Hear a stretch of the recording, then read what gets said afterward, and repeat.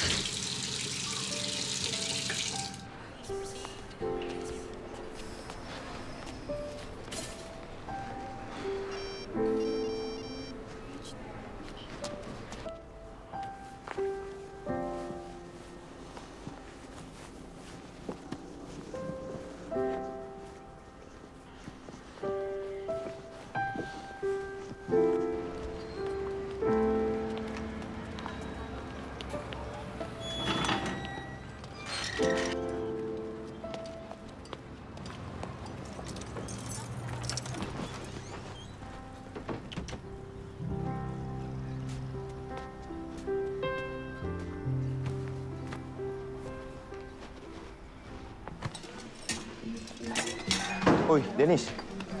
Kanina pa hinahanap ni Missing, ah. Bakit daw? Di mo ulit ah. Tsaka oh, wala pa masyadong customer. Bakit daw? Hindi ko alam. Sige, sige, punta ko siya.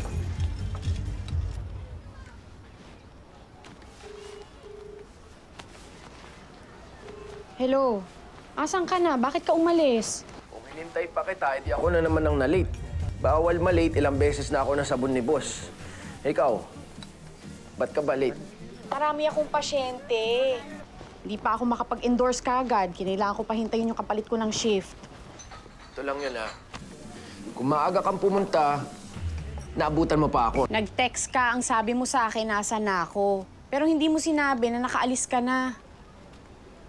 Ano nang kakainin ko dito na mag-isa? Matutulog na lang ako. Sige na, mag-ingat ka na lang dyan. Ang mga away namin ng ka-live-in kong si Dennis, madalas mababaw.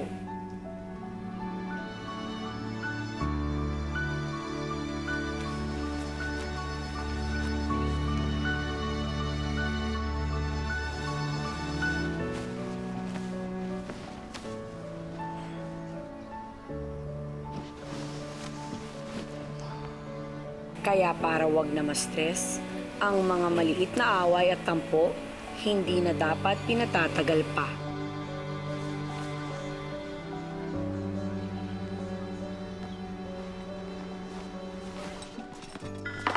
Mil, pa-refill ako ng ice. Lab, So, babe. Hindi ako makatulog. sa ano gusto mo? Kantahan kita. Ko gawin mo yung gaya nung dati para makatulog ako. Oh, pero, pasensya ka na kasi wala na akong practice eh.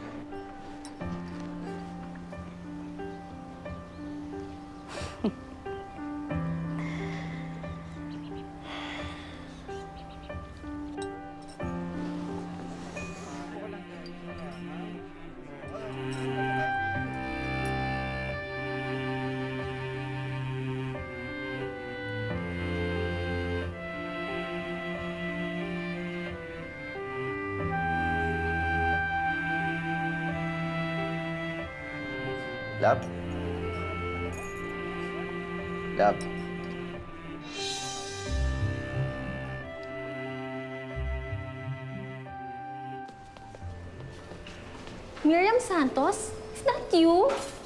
Still remember me? From college?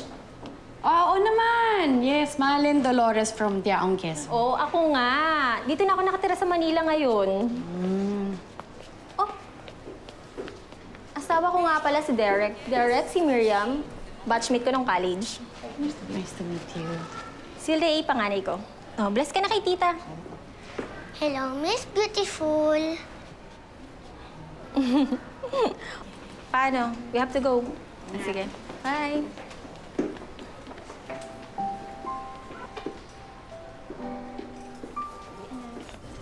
Ate, bakit ba kasi bigla-bigla kang sumugod dito? Ba't ba pinagmamadali mo ako? Pinapaalis mo na ba ako? I'm just asking. It's Dad's birthday next week. At mag-host ako ng dinner party. Gusto ko andun ka. Isama mo na rin yung lalaki na yan. Kahit na masama ang loob ko. Dennis, Yes, I know.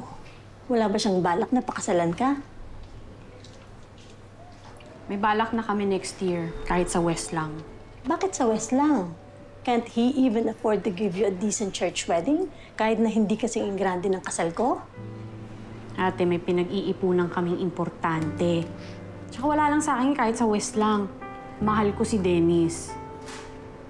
Isa pa sa mga pagsubok sa relasyon namin ni Dennis, pressure mula sa aming mga pamilya.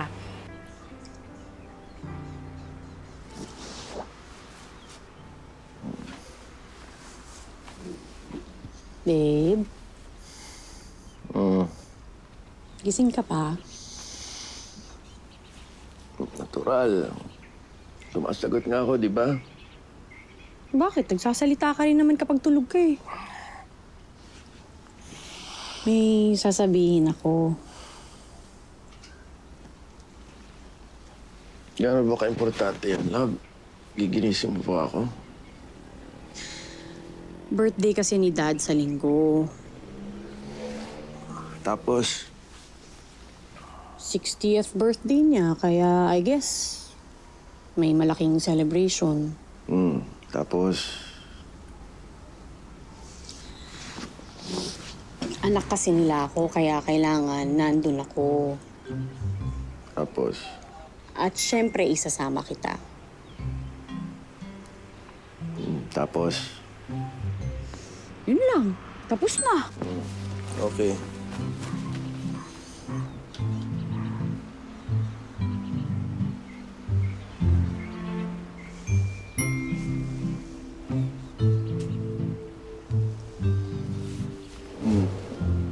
Ba gusto mong sabihin ko? Okay. Magsalita ka, mag-react ka. Mag-react. Love, di naman sikreto siguro, di ba? Ayaw sa akin ng pamilya mo. Ngayon, ganito lang yan eh. Pag di ako sumama, magagalit ka. Hindi ka na rin sasama. Pag di ka sumama, mas lalo silang mag-iisip na ako ang dahilan kung bakit hindi ka sasama, mas lalo silang magagalit sa akin. Kaya alam kong importante sa'yo, di ko na pahabain pa. Okay. Okay lang sa'yo. Okay lang. Hmm?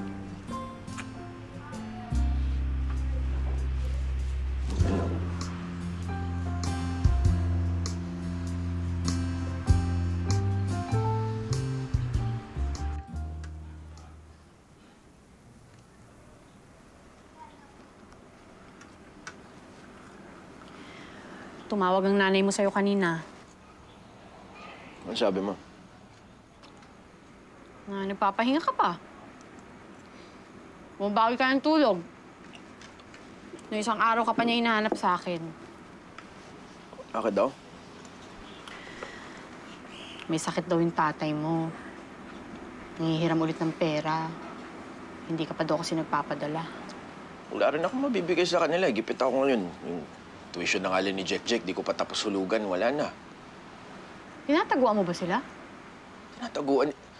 Wala nga akong pera ngayon, igipit. Di ko pa sila kayang harapin. Wala akong mabibigay.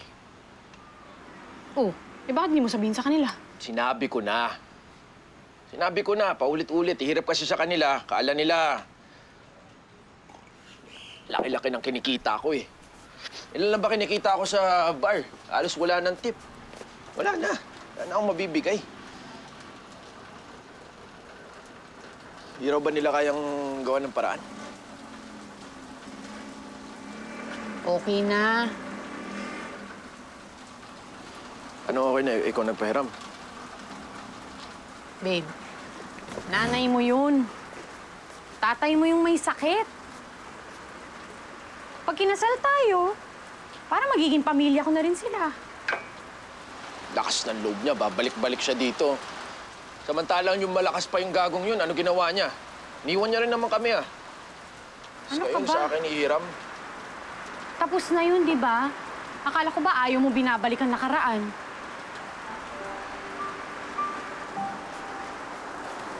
Sa savings ko naman kinuha. Magkano lang naman yun eh. Love, sa future natin yun eh. Tuloy, ginalaw mo pa. Yun na nga. Para sa future natin. Matagal pa naman yun, di ba? May pagkakataon pa. Pwede pang paghandaan yun.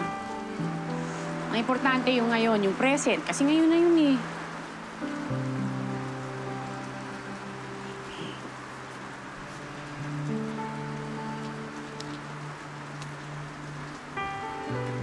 Amat. Amat ha. Para saan? Ang pagtulong sa pamilya ko. Di ba sabi ko sa'yo, kung anong sa akin, sa'yo na din. Para saan pa ang relasyong to?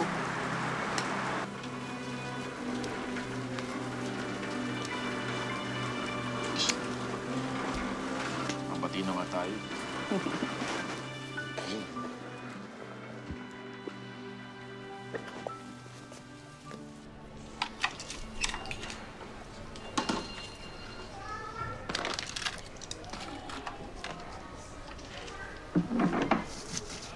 Friend. Uy, oh. Di ba six years na kayo ng jowa mo? Seven years na. Seven years na? So, nasa seven year itch ka na? Ha? Seven year itch? Hindi mo ba alam yun? Parang kasabihan na kapag seven years na kayo sa isang relationship, medyo, medyo magkakasawaan na, medyo nabobore, tas medyo matetempt ka nang maghanap ng iba. Ikaw ba? Anong ako? Hindi mo na-feel yun? Parang papagod ka na, nasasawa ka, nabobore ka, ganon. Isang malaking yes at no. Isang malaking yes at no. Yes, hindi kami nagkakasawaan at no, hindi ako nawawalan ng gana kahit na minsan nakakainis na siyang kasama. Okay na. Teka, friend, di ko talaga gets eh. Ewan ko kung paano mo nakakayanan yun. Alam mo, kapag mahal mo ang isang tao, kahit minsan nakakatamad na siya, hindi mo siya matitiis. As in. As in, hindi ko pa na-try kasi. Pero alam mo kung anong gusto ko i-try. May bago akong crush. Yung gwapong poging doktor. Si Doc Jerry. Gwapo na pogi pa. Ikaw talaga? Busy naman ito.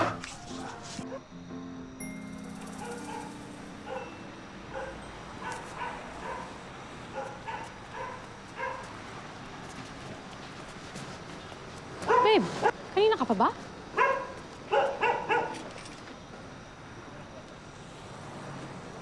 Si Sir Jerry nga pala, bago naming doktor. Um, sige, Miriam. Wala na ako.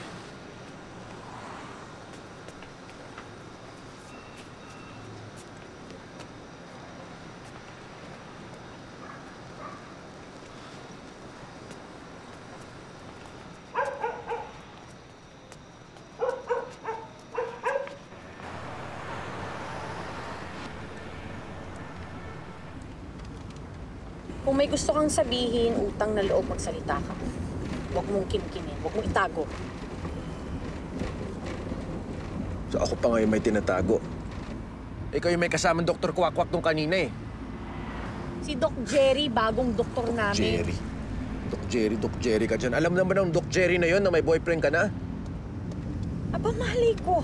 Kanina lang siya sa akin pinakilala ni Angel.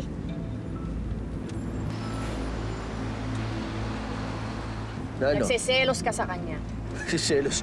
Sa kanya, nagsiselos? Bakit ka ba nagkakaganyan? Eh bakit? Ano ba nangyayari sa akin? Ha? Ewan ko sa'yo. Tinatanong kita tapos tanong din isasagot mo sa akin. Labo mo. Pero ang selos, naku po, yan ang away na masakit sa ulo.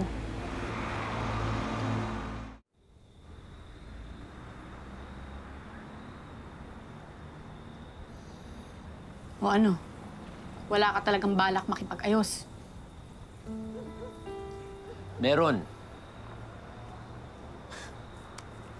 Bira, kung di pa kita pinuntan doon, di ko makakita.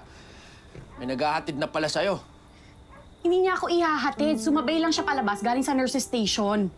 Sumabay, pero dala lahat ng mga gamit mo. At laking tanga ko naman kung paniwalaan ko yan. Ginagawa lang ng mga lalaki yon sa mga babaeng pinopormahan nila o sa mga girlfriend nila. Kaya huwag kang... Huwag... Nagpapaka-gentleman lang siya dahil nakikisama. Wow! Gentleman, galing. Pinaunlakan mo naman. Dahil wala lang sa akin kung kargahin niya yung bag ko.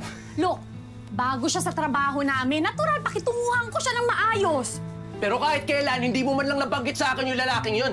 Dahil kakakilala ko lang sa kanya. Alam mo, paulit-ulit lang tayo eh. Kung lang to, walang patutunguhan to, matutulog na ako.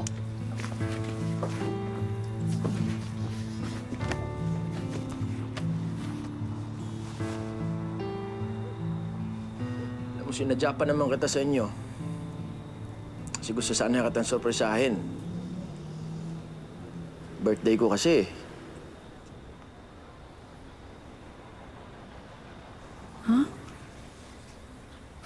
23 na ba ngayon? Birthday mo na pala. I'm sorry. Happy birthday. Saya. Grabe, saya. Saya na sa lubong ng birthday ko. Sorry. Kalimutan ko eh.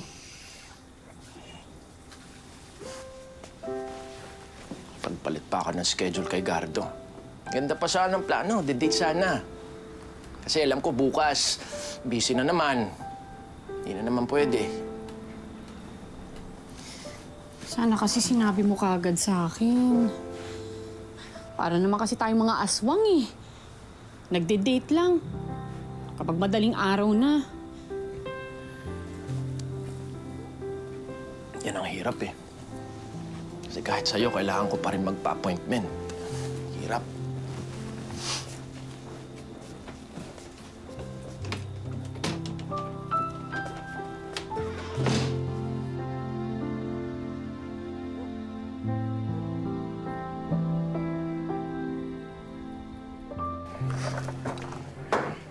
Parang di ka pa naman nasanay. Di ba ikaw na rin nagsabi na matampuin talaga siya? Babaw nga lang nun eh. Age na kaagad. Sino ba namang hindi maiinis? Alam naman niya yung nature ng trabaho ko. Marami ako nakikilalang tao. Sa mga pasyente pa lang dito sa ward, ilan na kaagad yun? Nako, friend, I feel for you. Sobrang nakarelate ako dyan. Kahit ako, no, ang hirap-hirap kaya mag-explain sa ex ko na yung ginagawa natin in the service of the Filipino people. Sa bagay, yung mga lalaking yan, di pa ba tayo sanay? Minsan ang selfish-selfish lang nila, di ba? Puros mga sarili lang nila iniisip nila. Bira. Ako pa ba makasarili? Ginagawa ko na nga lahat eh, di ba? Para maging okay kaming dalawa. Siya na nga itong nakalimot ng birthday ko. Siya pa may gaan magalit. Eh, ikaw rin naman nagsabi na nagselos ka sa kasamahan niya, di ba? Hindi naman niya kailangan magselos. Wala naman talagang ibang lalaki sa buhay ko. Truths. Pero alam mo, okay na din yun eh. Kasi ibig sabihin lang doon, ang ganda mo, girl. O, di ba? Takot siya na mawala ka or takot siya na wala na siyang mahanap na iba. Kaya nagsiselos siya. Oh. Bakit? Wala na rin naman siya mahanap na katulad ko, ha? Sweet. Loyal. Yeah, pero ang lagay, ako na lang ba lagi dapat umiintindi sa kanya? Pare, alam mo, sa relasyon, give and take. Kung sino may kasalanan, siya humingi ng pasensya. Kung sino naman yung tama, siya magpatawad. Posh, huwag kang magpatalo. Women empowerment. Go, girl. Ganon. Pare, ito na lang sagutin mo. Mahal mo ba talaga siya? Mahal ko nga kaya ako nagkakaganito. Ayun naman pala eh. Eh di wala na. Game over. Bahala ka magtiis. Ganda ka dyan. Ano pa nga ba itong ginagawa ko? Sa tingin mo ba, magtatagal kami nun? Kung ganun-ganun lang ako sumuko. Ah,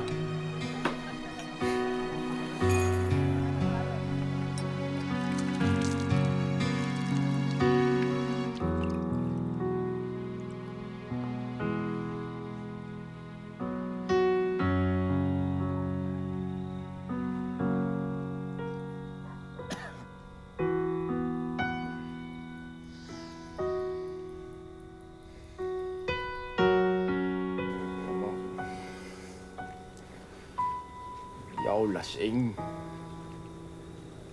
Na ano lang, ka... Kainom ng konti. Kasi yun, sa mahal ko. Mahal ko eh. Mahal kaya... Mahal ko eh. Si Miriam. Mahal ko yun, kaya. Ay, lagi kami mag-away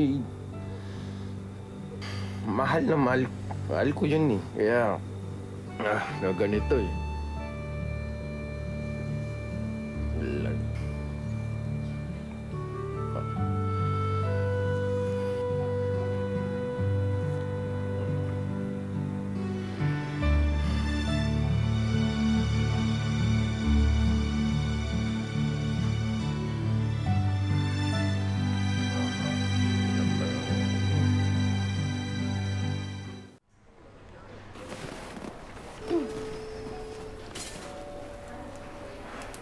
Friend, kumusta na kayo ni Babe? Okay lang. Kaso hindi pa rin kami nagkikibuan. Ano ba naman yan? Di pa rin kayo nagkikibuan? Ano ba yan? Parang talo niyo pa yung World War II, away-bate, away-bate. Di ba kayo pwedeng mag-away sa ibang way? Yung nagpapansin na naman, ganon. Yung... Yung okay, fine, wag na magtatrabaho na ako. Di na ako, ewan.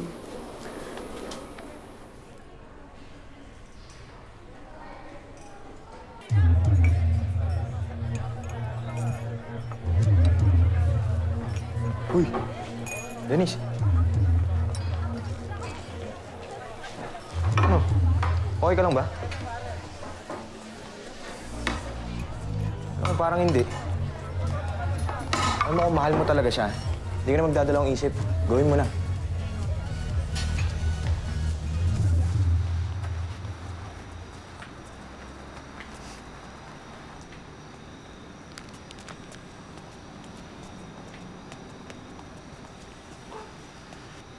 Beautiful.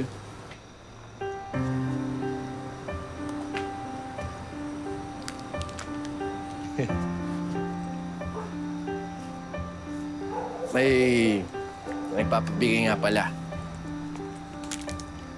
Pinapasabi, sorry. Kasi sinusumpong ng sungit minsan at ah, sabi niya, total pogi naman daw siya. Baka pwede mati na kayo.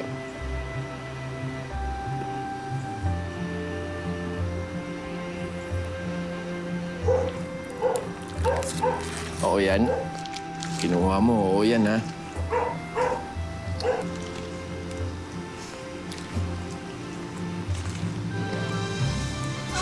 Oh, Kiss naman. Wala kong bati na tayo. Kiss naman ito ko. Away bati? Okay lang. Basta't alam ninyo, love ninyo talaga ang isa't isa.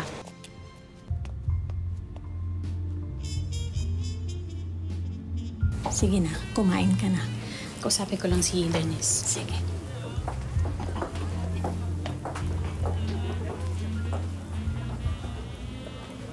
Okay ka lang?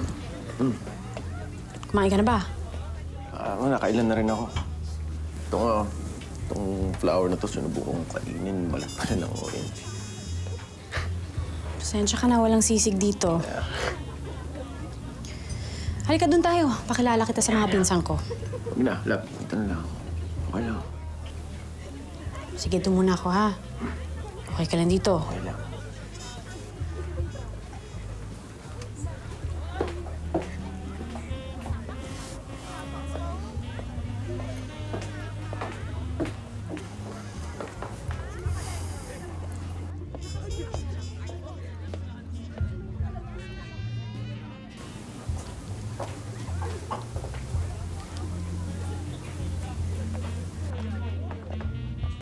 Maging matatag din Cody, pagdating ng mga maseryoso at matinding problema.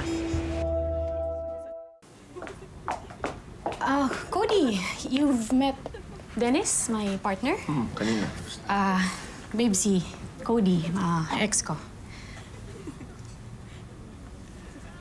what school did you graduate? Undergrad, Brad, sa Holy Angel University, first year. Ah, okay. What's your business? Business. Hindi, wala. Um, walang business. Work. Meron. Bar bartender. Bartender, as in waiter. Ba- Bakit may problema ba? You know what, Miriam? You never fail to surprise me. Cody, can you please stop it? I'm sorry. Excuse us, ipapakilala ko lang siya sa tita ko. I'm sorry. What's your name again? Dennis. I don't think you deserve her. Tama na nga, Dennis! Nakakahiya! Cody! Cody, please! Miriam, what the hell is happening here? Dennis, tama na. Nakakahiya. Umuwi na tayo. Una, nakakahiya eh. Nakakahiya sa inyong lahat. Baka mamaya, ayaw nyo na ako maging parte ng pamilyang to, no? How dare you ruin our family's affair? Mabuti pa, sa inyo na yung pinagmamayabang yung kayamanan ninyo. Ma- ilaga ninyo, pakuluan ninyo, isaksak nyo sa mga baga nyo. Mga mata pobre. Dennis, Huwag siyang sundan.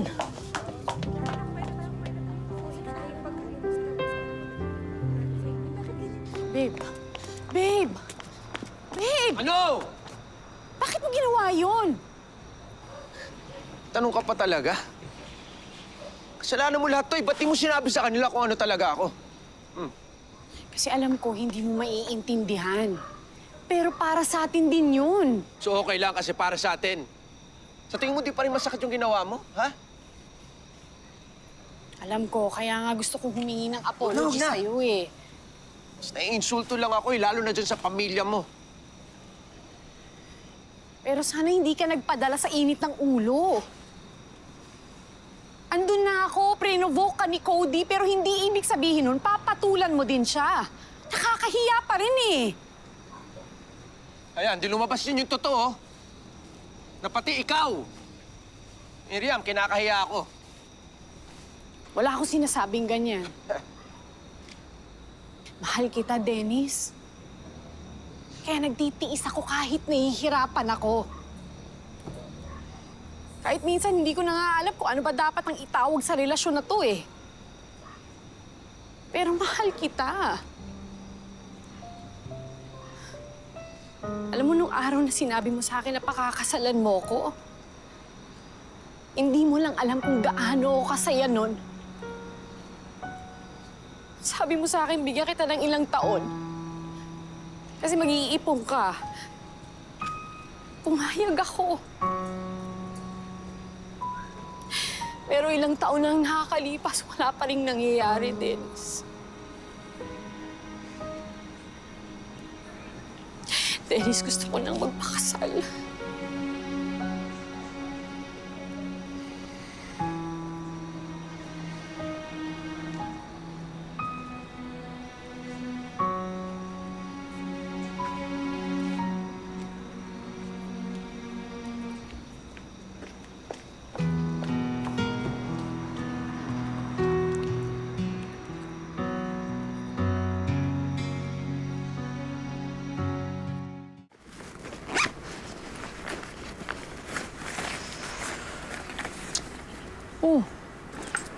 akala ko may duty ka ngayon.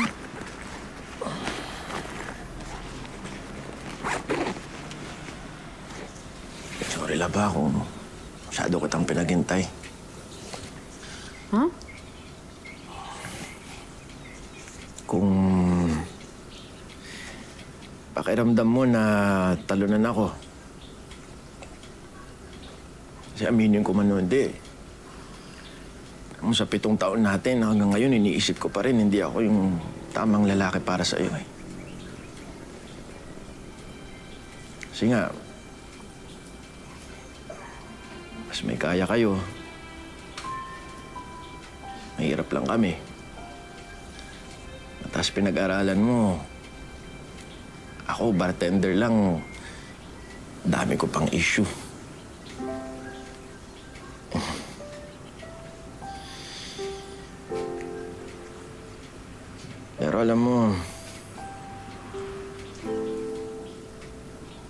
Pitong taon na yun,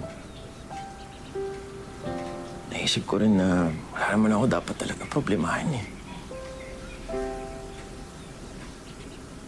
Wala kasi alam ko mahal mo ako.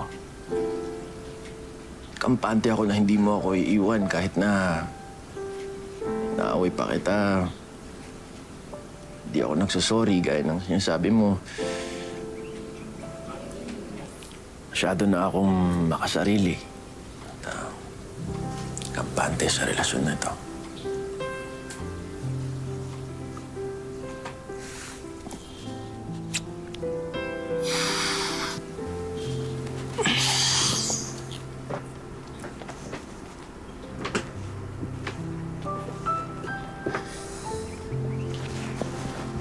Ginagawa mo?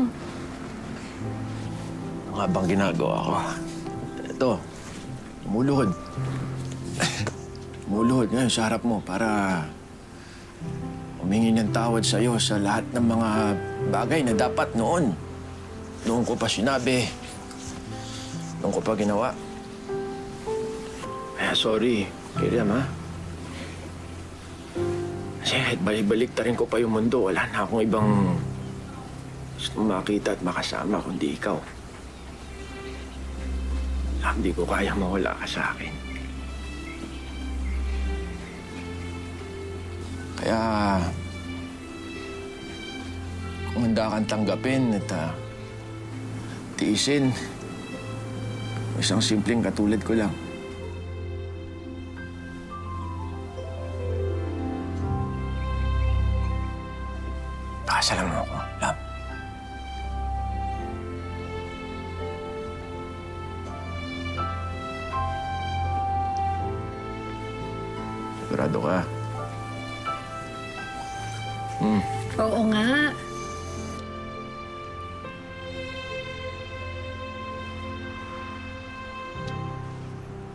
Naman. Baka pati ito pag-awayan pa natin.